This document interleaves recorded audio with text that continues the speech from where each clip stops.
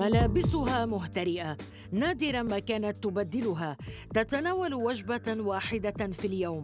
للوهلة الأولى يثير مظهرها الشفقه ليكتشف من يصادفها بأنه يقف أمام واحدة من أغنى شخصيات أمريكا. اعتمدت عليها مدينة نيويورك في الاقتراض في أواخر القرن التاسع عشر وقدمت القروض للبنوك المتعثرة وساهمت في نشأة شارع وول ستريت وازدهاره إنها هاتي جرين الأمريكية التي دخلت موسوعة جينيس للأرقام القياسية من باب البخل فما هي قصتها؟ ولدت هاتي في العام 1834 لعائلة ثرية تربت على التعاملات المادية وأتقنت قراءة الوثائق المالية من خلال جدها لتصبح لاحقا محاسبة الأسرة وترث عن والدها سبعة ملايين دولار.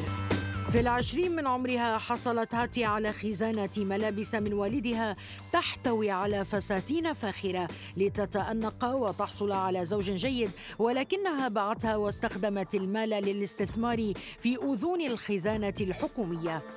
تأخرت هاتي في الزواج لاعتقادها بأن الرجال يطمعون بثروتها ثم ارتبطت بإدوارد جرين ليتخلى عنها لاحقا بسبب بخلها. وبعد وفاته ارتدت ثوبا أسود لم تبدله حتى وفاتها. كانت تمتنع عن غسله بالكامل وتكتفي بتنظيف الأجزاء المتسخة منه فقط لتوفر ثمن شراء الصابون. هاتي الملقبة بساحرة وول ستريت. كانت تنام قرب سلسلة تضم مفاتيح خزائنها في البنوك وفي يدها مسدس بسبب هوسها وخوفها من التعرض للسرقة. قدرت ثروة هاتي بعد وفاتها بمئة مليون دولار. ثروة لم يتردد نجلاها بصرفها على أبسط الأشياء وأتفهها. واعتماد أسلوب حياة يقول الأمريكيون إنه جعلها تتقلب في قبرها.